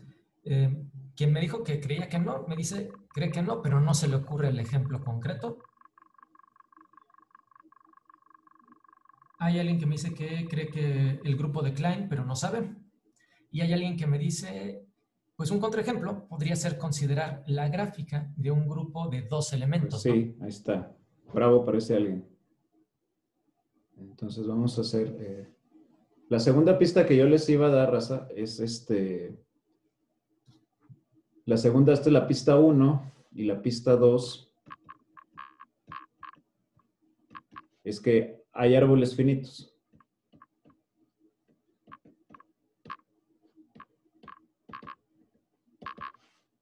Entonces, Con estas dos pistas basta encontrar un grupo cuyo, cuya gráfica de Cayley sea un árbol finito. Entonces, lo voy a poner aquí, este, la respuesta, aunque me queda muy pequeño en el pie de página, pero la pongo aquí. La respuesta es, ¿es el converso cierto? No. ¿Por qué? Porque podemos considerar la gráfica de Cayley, ¿de quién? Del grupo finito Z2, módulo 2Z, es un grupo en dos elementos, generado por eh, el 1. ¿Cómo es la gráfica de Cayley de este caso? Pues es un grupo en dos elementos. Tiene el elemento neutro que es el 0, el 1, y hay una solarista que es eh, esta. El 1 es su propio inverso. Esto es un árbol, porque no tiene ciclos. Bien, entonces, en la media hora que me queda, eh, voy a hacer ahora sí algo muy padre, que es hacer del grupo un espacio métrico. Entonces, lo pongo aquí.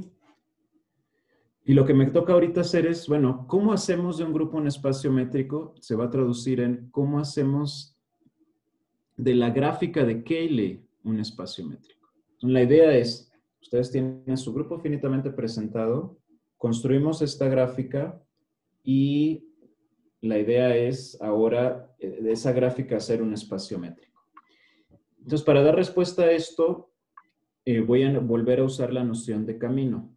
Entonces, déjenme introduzco dos definiciones, pero em, les paso primero la idea. La idea de fondo es, este, la idea, la idea es muy sencilla. Eh,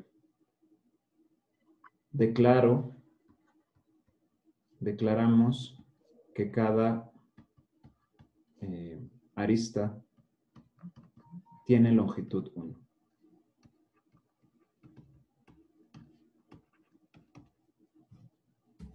La voy a enmarcar, espero que esto les diga algo, pero formalmente pues quiero hacer las cosas bien. Va. Entonces, eh, formalmente lo que voy a hacer es, rápido. Lo, eh, primero es definir una métrica en general, entonces, eh, para cualquier gráfica. Entonces, vamos a hacer la primera definición. entonces, me voy a tomar gamma, una gráfica con conjunto de vértices E, V y aristas E conexa, en el sentido que definí antes una gráfica conexa y este, definimos la siguiente eh, función. Entonces, voy a definir una función D que va a ir V de los vértices en los vértices a los reales positivos unión el cero. ¿Qué va a ser mi distancia? Mi función distancia. Quiero hacer de esto un espacio métrico, les tengo que dar una distancia. Entonces, a una pareja de vértices BW, ¿qué le voy a asociar? Le voy a asociar el mínimo,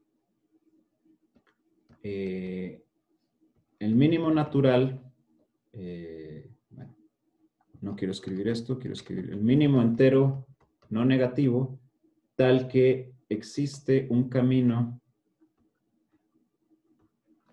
de longitud n que conecta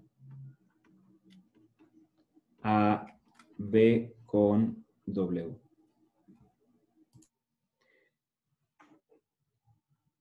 Entonces, el enunciado que quiero poner aquí es, si me tomo una gráfica conexa, entonces esto eh, define una métrica, entre paréntesis, en el sentido de eh, espacios métricos, slash este, una distancia eh, en V. En el conjunto de vértices. Y le llamamos la métrica de la métrica en V asociada a la gráfica gamma.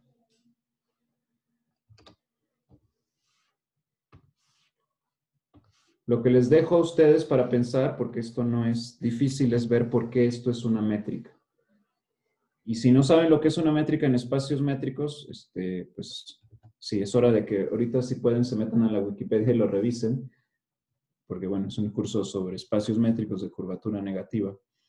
Entonces, em, pero la idea es, que es una distancia, es una función que la distancia de un punto del mismo cero es simétrica, hay una desigualdad del triángulo, etcétera, etcétera.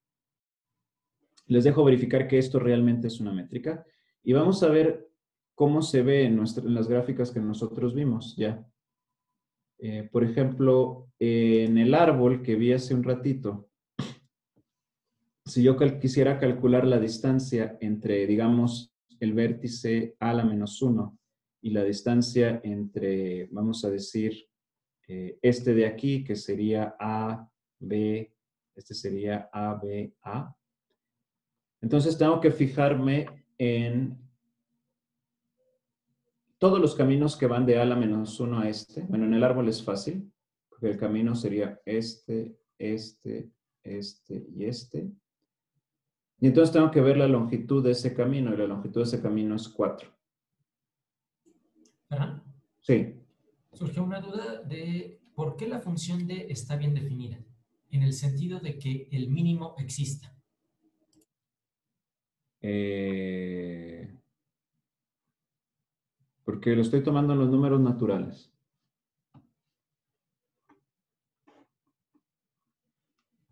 Este, el, eh,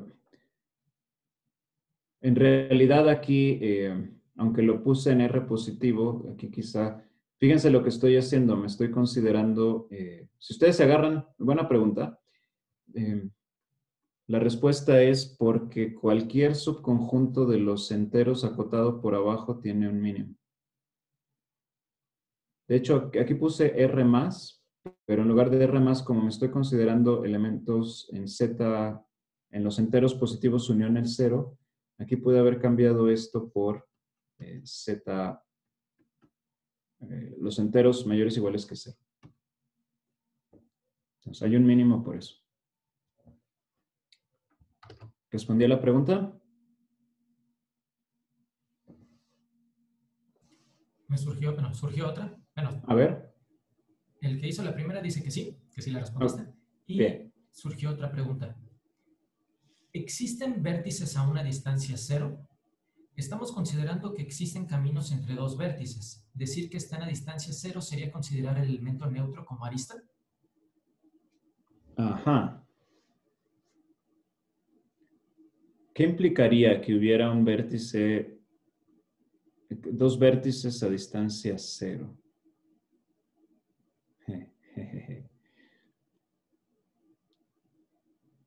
Eh, la respuesta es no, no hay, o sea, no hay parejas de vértices que estén a distancia cero.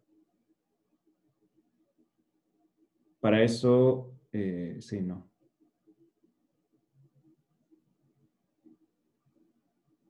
Eh, sí. No, no hay. No, no, no, no, no, no. O sea, lo que yo quiero, lo voy a poner aquí como observación. O sea, es este. Si yo, si yo me tomo V diferente de W. Eh, ah, ok. Ah, no, tienes razón, tienes razón. Estoy diciendo, estoy diciendo, ah, estoy diciendo un montón de tonterías. Déjame pensar un momento. Un segundo.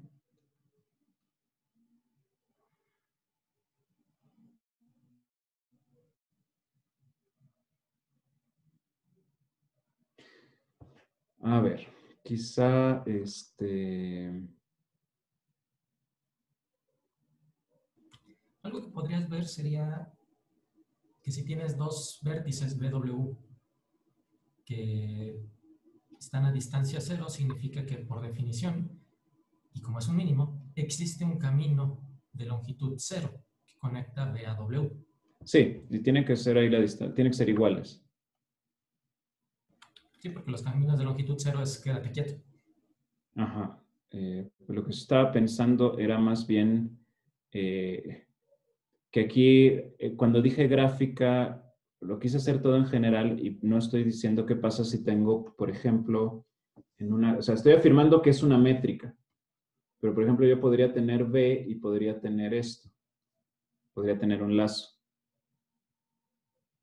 Sigue siendo un camino de longitud 1. Eso sería un camino de longitud 1 y entonces la distancia de B a B sería igual a 1 en este caso. Entonces, no, sigues teniendo el camino constante. Sigo teniendo el camino constante también. Entonces, no hay problema. De hecho, no hay ningún problema en ver que esto es una métrica. Entonces, este, déjame lo pongo así como una serie de observaciones. La primera es justo lo que estaba diciendo Jesús y es que eh, si, la, si la distancia entre dos caminos es cero, esto lo que me implica es que hay un camino de longitud cero, es decir, un camino constante de eh, B a W y entonces esto lo que me implica es que B es igual a W. Entonces, en ese sentido, eh, pues sí.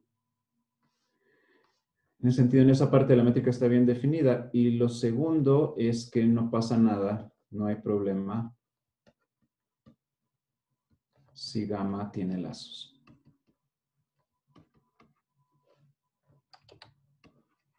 Pues eh, estoy considerando también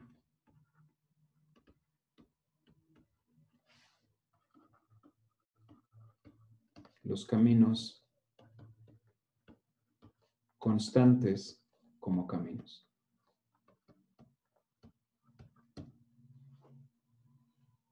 ¿Hay más preguntas sobre la, función distancia?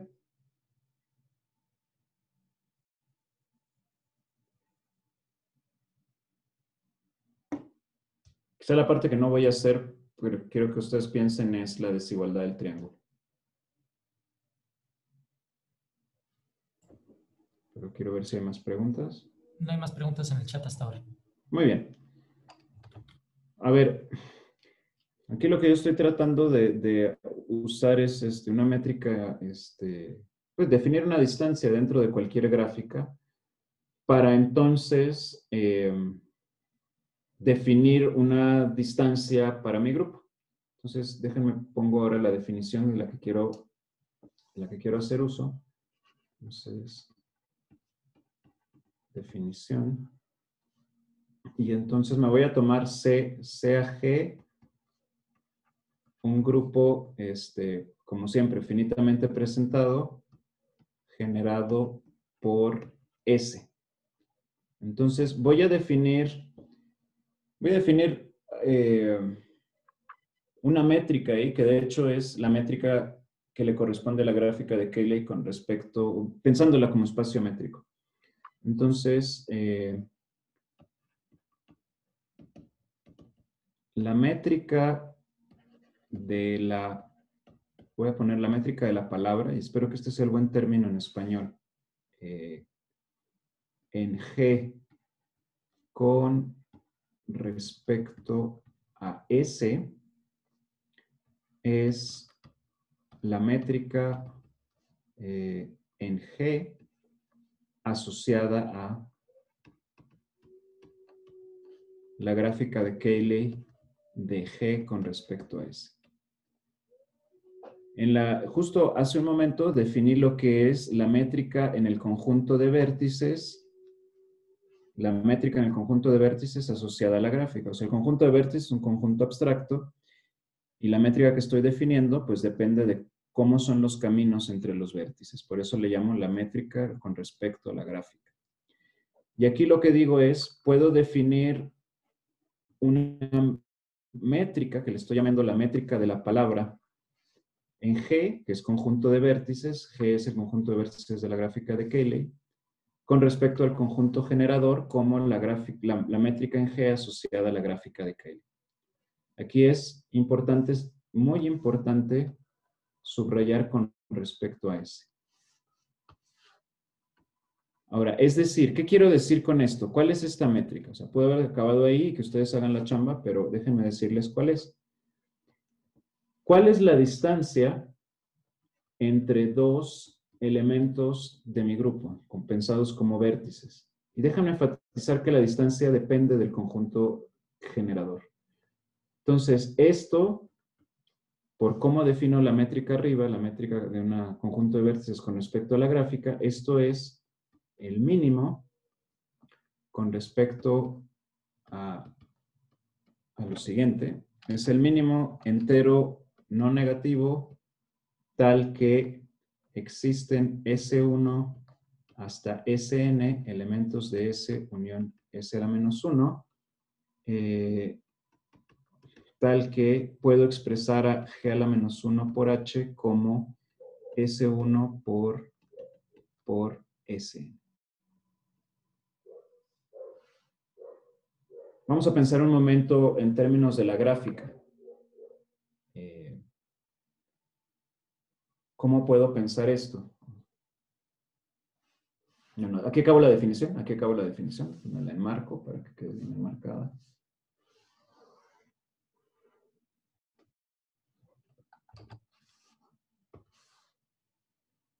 Entonces, en dibujos, ¿qué es esta métrica? ¿Por qué le llamamos la métrica de la palabra?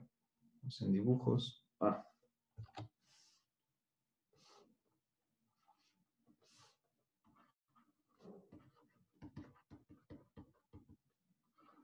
En dibujos lo que yo tengo es, voy a tener un elemento G y luego voy a tener yo un elemento H. Y entonces, eh, voy a pensar en un camino que los una. Pues, ¿cómo son los caminos que los unen? Pues es, en la gráfica de Keyle, pues se ve como un, bicho así, ta, ta, ta. Ahí hay un camino que los une. Ahora, ¿cómo son los vértices de este camino?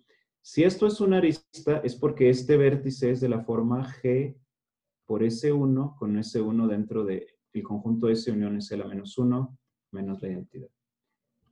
Si esta es una arista, es porque para ir de aquí a acá, yo tengo que multiplicar a gs a la menos 1 por otro gs2. Perdón, tengo que multiplicar a gs1 por un s2.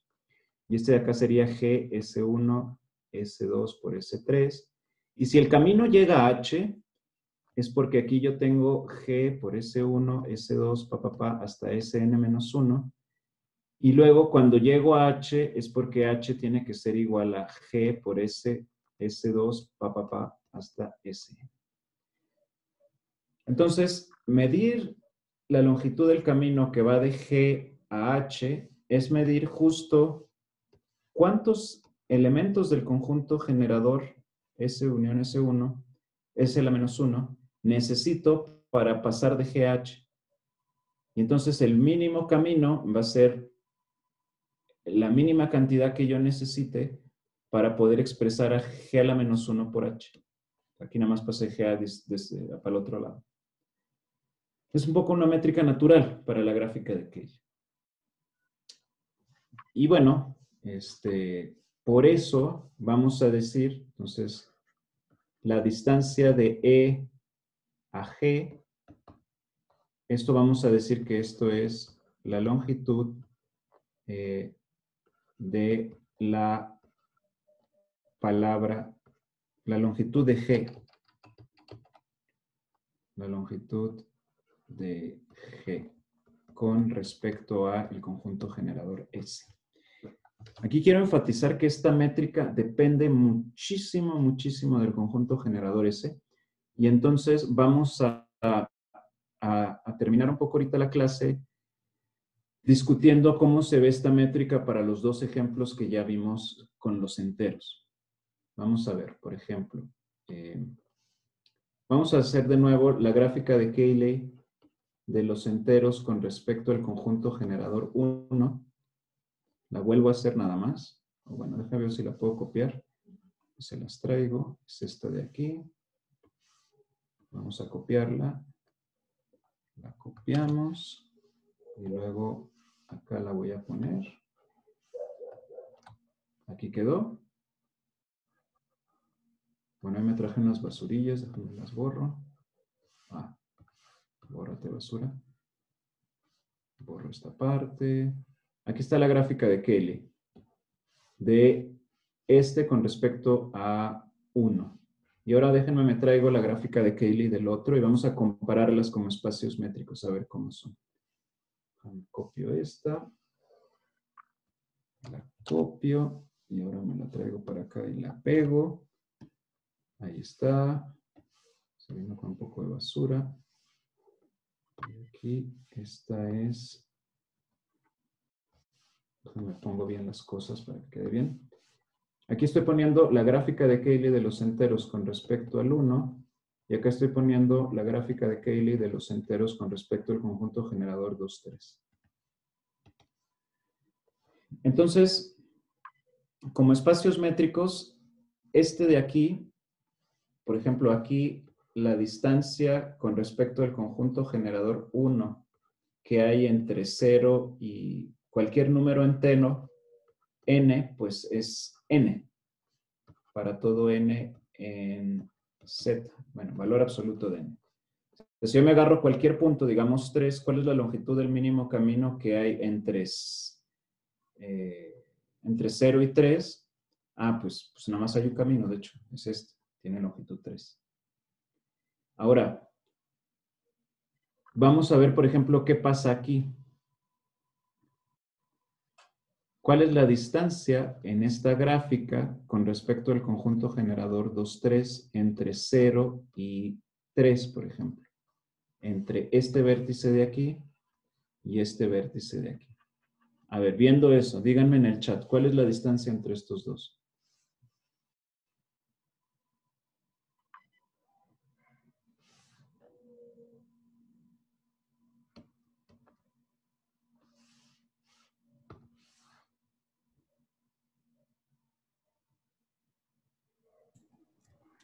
Empiezan a decir en el chat que uno.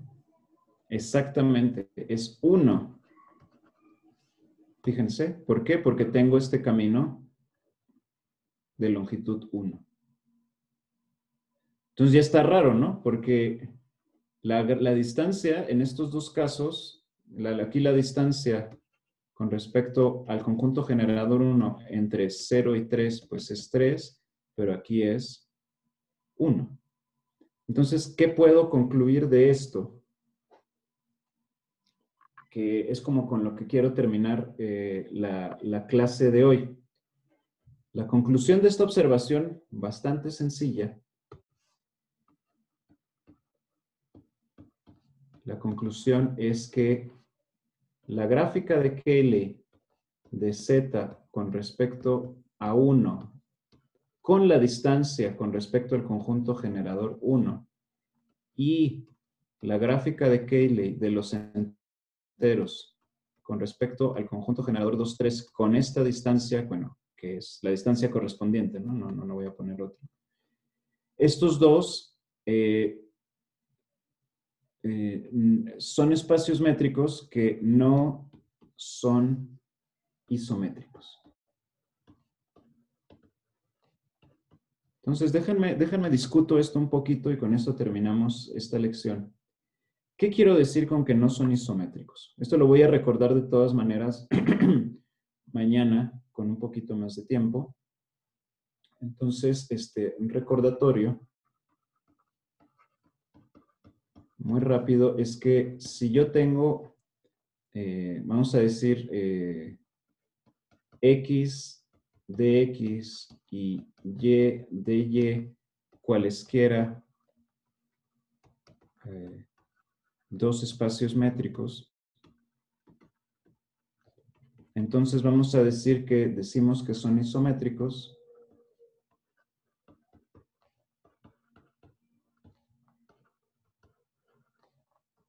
si existe, ah, aquí me equivoqué, disculpen, disculpen. Oh my God. Formalmente aquí tuve que haber puesto Z. Z. Déjame termino esta frase y, comento. Son isométricos si existe... Eh, voy a... A ver. ¿Hay alguna pregunta? Sí. Ajá. Me preguntan, ¿qué sucede con la topología de estos espacios métricos? ¿Tiene, particularidad, ¿tiene particularidades? Eh, no. Todos estos espacios métricos son discretos. ¿cuál es el espacio métrico? El espacio métrico es, este, es el grupo, pensado como conjunto de vértices. Entonces, como conjunto, pues eso nada más los, este, los elementos del grupo, son los vértices, un montón de puntitos.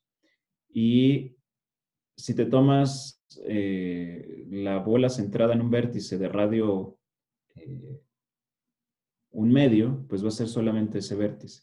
Entonces, como espacios métricos, todos son espacios métricos discretos. Un conjunto discreto de puntos, no hay, no hay mucha topología ahí. Ahorita comento un poquito más al respecto.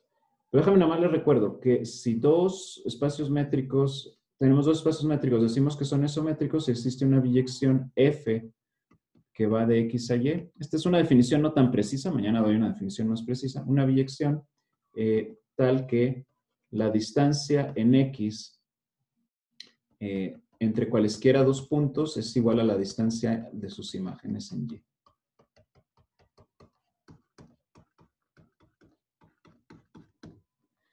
Entonces, em, volviendo acá atrás, ya yo estaba, yo pinté las gráficas de Cayley, pero yo cuando estoy definiendo la función distancia, la función distancia está definida en los vértices y los vértices son, son los elementos del grupo. Entonces, lo que yo estoy tratando de comunicar aquí es que vamos a hacer, hacemos de la gráfica de Cayley realmente un espacio métrico, pero lo que hay que pensar es que el que son los elementos del espacio métrico son los vértices de la gráfica de Cayley, que es el grupo. Entonces, estamos haciendo del grupo un espacio, métrico. Déjame lo comento aquí. Eh, lo voy a poner aquí como comentario, o como, eh, sí, como comentario. Es que estamos haciendo de G con las definiciones arriba un espacio métrico. Y aquí hay, hay, una, hay una, fuente de confusión cuando uno hace, eh, cuando uno hace estos dibujos. Porque uno pinta las aristas, pero las aristas realmente formalmente no están ahí. Las aristas son parejas ordenadas. Entonces, relacionado a la pregunta que me estaban haciendo hace un ratito, formalmente yo tendría que poner a Z y este es el grupo, son pues, un montón de puntos. Cuando yo considero la distancia con respecto al conjunto generador 1 en Z, estoy pensando eh, justamente en que tengo el conjunto de aristas que dibujé aquí. Pero formalmente el espacio métrico son estos puntos. Y digamos, si yo me agarro el cero y pienso en la bola centrada en cero con radio un medio, ¿Cuál es el conjunto de vértices que están a distancia un medio de cero? Pues simplemente el cero, porque todos los demás están a distancia lo más uno. Entonces esto es simplemente el cero. Entonces, entonces aquí lo que yo quiero decir es que z con la distancia con respecto a 1 es, es discreto y de hecho lo mismo sucede lo mismo sucede eh, con eh, Z con la distancia, de hecho con cualquier distancia que ustedes se den con respecto a un conjunto generador. Entonces, lo voy a poner aquí. Estamos haciendo de G con la definición arriba un espacio métrico discreto. Discreto quiere decir que pues, es en realidad un conjunto, nada más un conjunto de puntos y, eh, y sí. Creo que saben todo lo que quiero decir cuando, cuando digo que es discreto. La topología no es importante ahorita aquí. Me piden que si puedes volver a poner el recordatorio.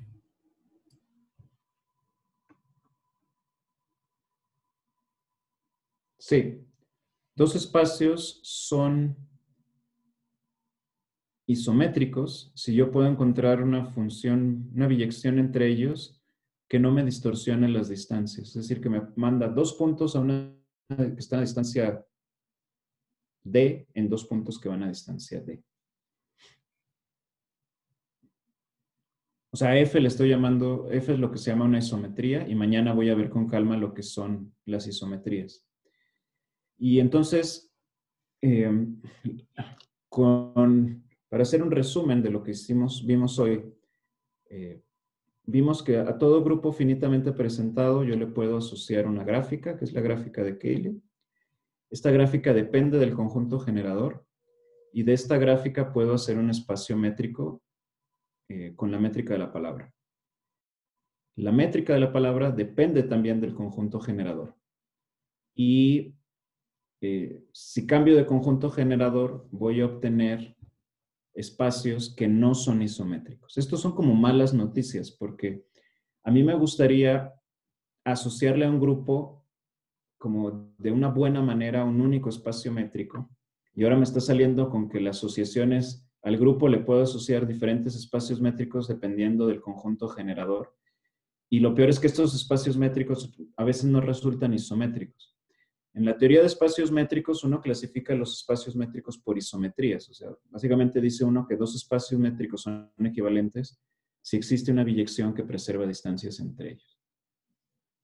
Y entonces esto lo que va a hacer es motivar a que, pues, si queremos hacer realmente una teoría un poquito más interesante, tenemos que ampliar nuestro criterio sobre equivalencia entre espacios métricos. Y ese va a ser el contenido de la clase de mañana. Vamos a ver que bueno, los espacios, eh, los grupos con estas distancias no son isométricos, pero van a ser equivalentes si este, yo relajo un poquito la, noción de isometría eh, en lo que se llama una equivalencia Bilipschitz o una cuasi-isometría. Y vamos a entender entonces a los grupos ya como espacios métricos, no módulo isometría, sino módulo cuasi-isometría. Y luego vamos a introducir la noción de hiperbolicidad y ver que eh, pues es un invariante de cuasisometría y por tanto podemos hablar de grupos hiperbólicos. Eh, voy a recordar la última parte de esto la próxima, la próxima sesión, la sesión de mañana, y hoy en la tarde pues vamos a ver eh, ejercicios que les mando en un momento a todos por correo sobre la clase de hoy y pues empezamos a discutir los ejercicios y también se vale que me manden sus preguntas en la tarde para eh, algo que no haya quedado claro. Yo sé que tiene otro montón de cursos, pero si tienen un momento o tienen una pregunta que no me quisieron hacer ahora, me la hacen en la tarde eh, y les trato de responder de la mejor manera posible. Bien, pues eso sería todo por el día de hoy. Es un minuto a las 11. Muchas gracias por su atención y nos vemos en la tarde a las 4.20. Muchas gracias, Ferran. Eh, como recordatorio a los estudiantes,